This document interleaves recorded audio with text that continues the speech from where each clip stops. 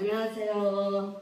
오늘은 저희 집 마지막 김장 다 끝나고 이제 이제 영양김치를 담기 시작하는 음, 날이에요.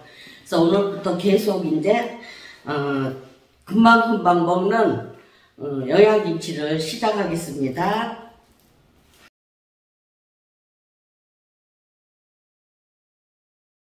네. 오늘 배추 동치미거든요. 이거는 오래 두고 먹는 건 아니고 오래 가야 한 달이에요. 그러니까 아, 빨리 담아서 빨리 먹고 자주 담는 김치입니다. 이거는 오래 두면 어, 뭐가 배추가 좀 너무 쉬어지든가 그렇게 하면 맛이 없는 거라서 딱 일주일 안 그러면 2주 그러면 보름 정도 그렇게 두고 먹는 김치기 때문에 요건 그때그때 마시로 담아 먹는 동치미예요. 무동치미하고는 좀 틀리거든요. 그래서 지금부터 시작하겠습니다. 아, 여기 마늘 넣고요. 마늘 한 3큰술 듬뿍 넣으시면 돼요. 무채, 무채 쓸고요.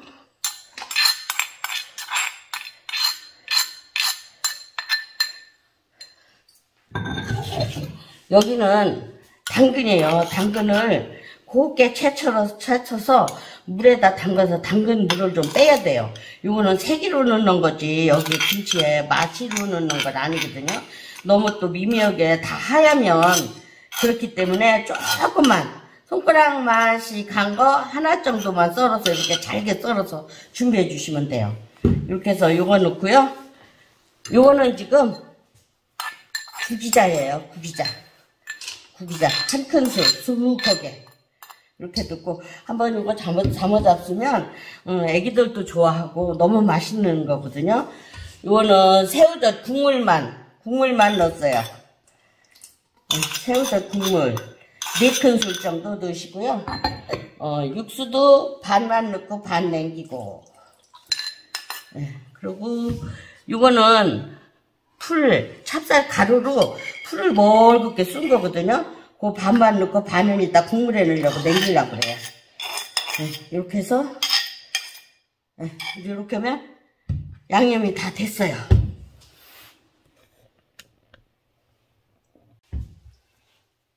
음, 이제 이 양념을 준비했거든요. 그럼 다 이렇게 넣으시고 이렇게 멀그스름하게 하세요. 이거는 너무 대, 대, 빡빡하게 하면 일단 국물을 불 거니까 그냥 좀 뭐라 그래야 담백하게 시원하게 해야 되기 때문에 요거를 조금 이렇게 멀그스름하게 해서 다 진하지가 않아요 양념이. 다 연해요. 네, 그렇게 해서 요 배추는 이렇게 파란 배추로 어 요거 한 2시간 반 절였어요. 절였으니까 그렇게 절여서 한 세 번, 네 번 정도 닦으면 이렇게 흰킬 때 예, 요거를 이렇게 덜 절여진 거는 백김치용은 막 비벼서 닦으면 안 돼요. 이거는 백김치는 우리 빨간 폭김치 그런 것보다 조금 덜 절여야지 되지. 이렇게 어, 많이 절이면 얘가 혹시 흐물흐물하다고 아작아작한 맛이 좀 덜 떨어지니까 그렇게 하시면 돼요. 제가 이렇게 하고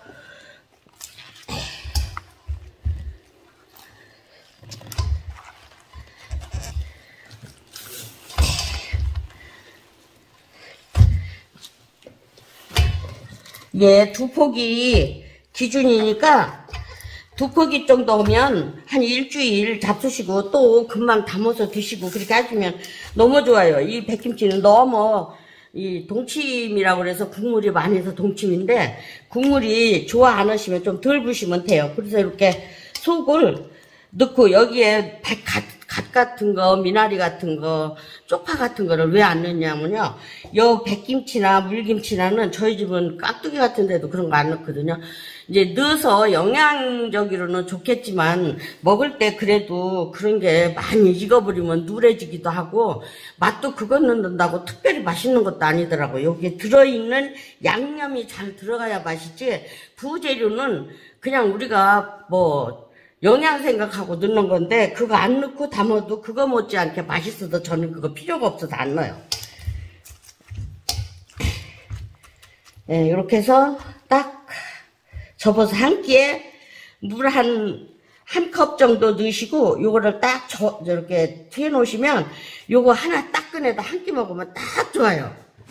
네, 이게 김치를 담아서 간수하는 것도 배우시고 잡듣는 것도 배우고 해야지 이게 김치가 그렇게 내 맘대로 누가 담아준다고 이게 맛있는 게 아니에요. 내가 간수해 가면 먹는 데서 이게 아무리 맛있게 담아준다고 그래도 이 간수를 할 줄을 모르면 거기에서 벌써 30% 40%가 맛이 없어지는데 어떻게 그 김치가 아무리 잘 담아줘도 먹는 사람 보관하는데 손에 달린 거기 때문에 맛있게 담아줘도 제대로 못 해먹는 분, 또 맛있게 담아줘도 잘 익혀서 또 잘 잡수는 분 보니까 특, 제가 지금 김치한 데가 얼마나 오래됐다 그래. 저는 손만 갖다 하면 간도 다 맞출 수 있어요. 그래서 어, 이렇게 보시면 담는 것도 중요하지만 요 먹는 그 기술도 아주 중요해요.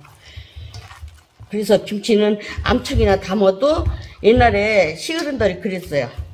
무식하게 담아서 유식하게 먹어라. 그게 더 뜻이 있는 말이에요. 담을 때는 이것저것 많이 무식하게 넣고 익혀서 먹을 때는 아주 맛있게 우아하게 먹어라. 그 뜻이 왜 그런 말을 하셨겠어요? 이 김치가 그렇게 쉬운 게 아니어서 이거는 정말 김치는 맛있게 하려면 이거 먹는 법도 배우셔야 돼. 담는 것도 배우셔야 돼. 지금 에, 저희 제자들도 여기서 배워가지고 많이 하고 있는데 그런 분들 보면 김치가 맛을 못 내니까 이것저것 넣어갖고 더 맛없게 만들더라고요. 그래서 쉽게 자기들은 왜 안 되냐고 그러는데 안 되는 이유가 있죠. 쓸데없는 필요 없는 양념을 여기다 뭐라 잔뜩 넣어요. 얘는 자기네 그, 어? 그 여기 양념에 자기네 그 배추 본그 그 배추에서 그 맛있는 맛이 나서 살다 같이 덕 써야 이게 기간도 길고 변하지도 않고 군날 같은 것도 막아주고 하는데 그런 거 아니고 막 이것저것 맛없으니까 넣어가지고 얘들을 막 맛없게 만들어서 먹는 이유는 없죠. 우리는 뭐 김치 뭐 때문에 먹어요? 유산균 때문에 먹잖아요. 야 맛있게 익어야 돼요 이게. 그러니까 그런 김치는 익으려고 하지 않고 익으려고 하다 끊어져. 그러니까 그것도 맛있다고 먹는 거 보면 아 정말 이 김치에 대해서 신경을 너무 써야 되겠구나를 제가 반성을 많이 하거든요. 근데 잘 가르쳐서 해줘도 안 되니까 지네들이 뭐 여기 제가 지금 어 뭐 유튜브나 방송이나 요리하시는 분, 더러 나오시는 분들 보면 에, 저희 제자들이 너무 많아요. 근데 이 김치를 배워 그렇게 뭐 금방 배워갖고 남이 거는 그거 하는 것뿐이 몰라. 내가 손이로 경력이시 많이 한 사람들한테 그 경력, 경력의 노하우를 알아야 되는데 어먼 것만 안 되니까 맨 효소 같은 거는 효소가 넣으면 김치가 맛있게 익질 않아요. 그럼 뭐예요? 야채만 먹는 거잖아요. 난 그게 너무 속상해요. 아니 그냥 해도 이게 익어서 진짜 쨍나는 맛을 내서 먹어야 우리가 건강한 식품인데 그런 거를 못 내니까 막 이것저것 넣어갖고 그 맛을 만들라니까 그게 만들어져요? 얘는 발효 음식이라 그렇게 해서 만들어지지가 않아요. 그래서 어, 지금 어, 내가 이런 소리 하면 어떨라가 몰라도 정말 우리 제자들도 좀 반성을 하셔야 돼. 그렇게 이게 쉬운 게 아니라 뭐 간단하게 조금 배워갖고 노하우 빼갖고 와서 남이 컬라고 하면 되지를 않아요. 내가 다 알고 있지만 정말 정말로 이거는 김치는 그렇게 쉬운 게 아니에요. 내가 뭐 김치 잘 담는다는 게 아니라 김치의 이 성격을 알으셔야 돼. 모르시면 여기에 뭐 우리가 배가 없어서 못 넣고 사과가 없어서 못 넣고 양파가 없어서 못 넣겠어요. 저는 그런 거 안 넣어요. 그런 거는 뭐 그런 맛에 빨리 익는 재료도 있고 또 익고 나면 이 배추 같은 거 물러지게 만드는 재료도 있고 그런데 그런 거를 여기다 왜 섞는 거예요? 그건 안 되지. 그래서 저는 정직하게 옛날 그때 그 정, 저, 전통을 딱 지키고 싶어서 그 위에, 그 외에 재료는 절대로 안 넣습니다. 그래서 이게 많이 넣는다고 맛있는 거 아니에요. 적당히 넣어서 간도 맞춰줘야 되고 간이 중요한 거지 여기다 넣는 게 뭐 얼마나 중요해요. 여기다 산삼을 갖다 넣어도 소용없어요. 기술이 없으면. 근데 이제 이런 소리 하면 뭐 막 비꼬시는 분들도 많이 있지만 김치는 그렇게 마음대로 자기 마음대로 되는 게 하나도 없어요. 음, 그래서 이렇게 이제 간 맞춰서 딱 담았거든요. 그럼 여기에 아까 남겨놓은 육수 한 반 컵 정도 넣으시고 또 풀 아까 세 컵이라고 그랬어요. 세 컵에 한 컵 내기고 한 컵 반, 한 컵 반은 넣고 한 컵 반은 여기 내겼으니까 이것도 국물에다 할 거예요, 지금.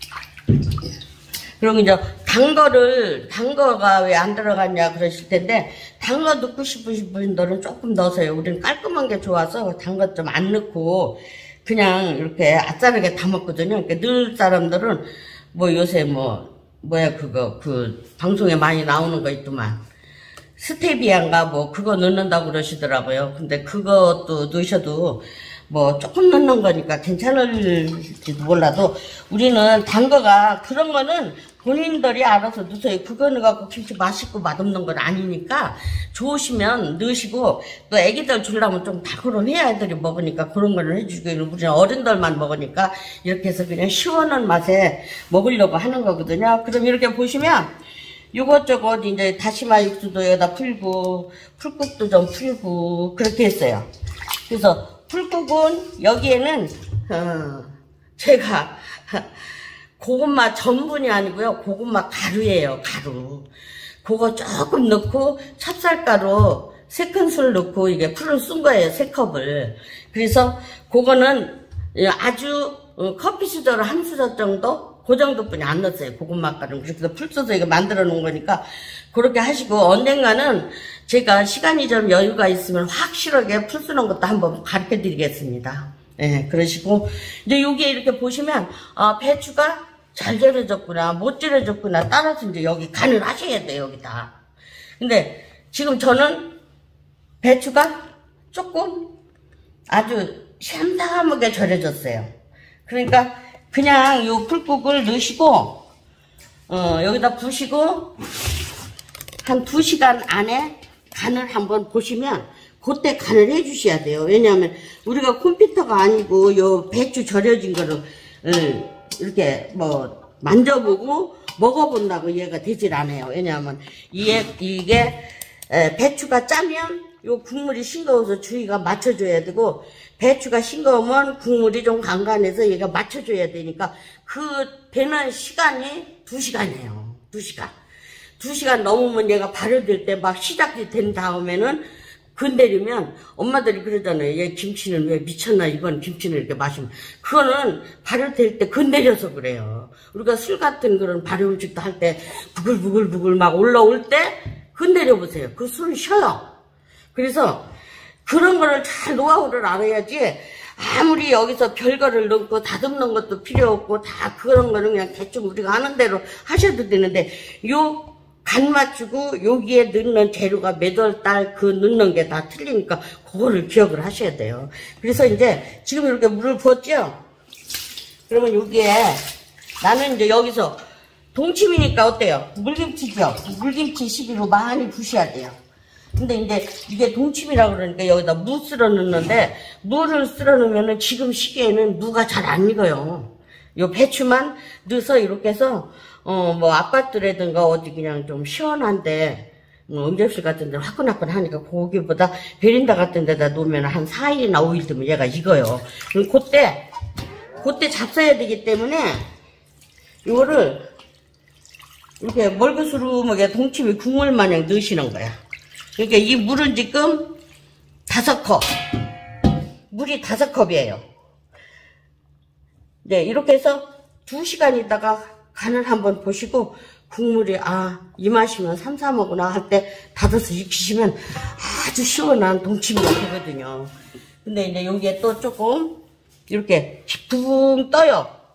뜨는데 이거를 눌러놔도 눌러놔도 뭐 이 물이랑 어, 물 많은 김치기 때문에 하니까는 이렇게 근데 또 여기에 요거가 요 요 우거지 덮는 게요 요게 짜요 이게 그 배추 속같이 싱거운 게 아니고 짜기 때문에 여기에서 또 물이 나와야 되니까 요거를 2시간 안에 딱 간 보시고 한번 하면 그때 소금을 넣든가 새우젓 국물을 조금 더 넣으시든가 그렇게 하셔도 돼요. 그러지 우리가 간을 맞춰야지 내도 선수지만 내가 딱 한 번에 맞출 수는 있는 것은 몇 가지 안 되는 것 같아요. 왜냐하면 간을 한 번 보고 아 싱겁네 짜네를 조금 이거는 별 기술자가 레시피가 필요 없어요. 전통 음식은 레시피 맞는 거 하나도 없어. 그 맞는다는 사람이 사기꾼이야. 그래서 그렇게 해서 간을 딱 해서 이렇게 놔두면 익으면 시원한 배추 동치미가 됩니다. 근데 이건 오래 두고 먹는 거 아니라겠죠? 그러니까 자주 담아 먹는 거니까 조금씩 자주 담아야 되시게 맛있게 익혀서 맛있게 드세요. 예, 이제 이게 지금 담아놓은 지 2시간이 됐어요. 간 보는 걸 한번 보여드리기 위해서 저희가 제가 조금 만들어서 2시간 해놓은 거를 이제 이렇게 간을 보겠습니다. 이렇게 해서 요렇게 그냥 바로 위에를 보면요 우거지가 짜기 때문에 위에 간만 보지 지금은 막 이렇게 자기들이 이렇게 발효되는 중에 섞어지지가 않았거든요. 그러니까 우러나는 거니까 이렇게 봐서 지금 2시간이 되어 있으니까 밑에로 그렇게 해서 섞은 다음에 이렇게 한번 맛을 보세요. 좀 싱거워요. 그럴 때 그럴 때는 이제 새우젓 국물 나는 좋다 그러면 그걸 넣으시고 나는 새우젓 국물이 별로 그래 그러면은 여기에다 조금만 이렇게 이렇게 넣으세요 이렇게. 막 허틀어 놓으면 속에 있는 양념이 거기서 자기가 해야 되는데 저는 요 소금을 조금만 넣을게요. 소금 한 반 큰술 되거든요.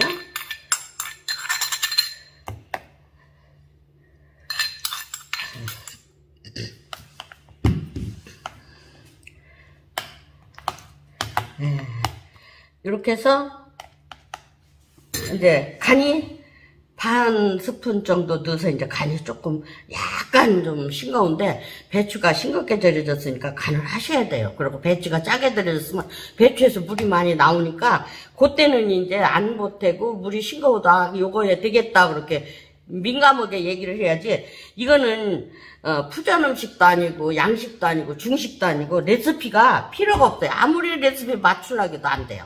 그래서 그런 방향으로 엄마들이 자꾸 요 김치 담는 요 비법을 쌓이고 쌓이고 있어 이제 도사가 돼야지 손으로 만져도 아 이게 어느 정도다를 알 때 그때 이제 완성이 김치의 진가를 이제 어, 나타날 때거든요. 그래서 어, 그렇게 이건 이제 두 시간 후에 한번 간을 봐드렸습니다.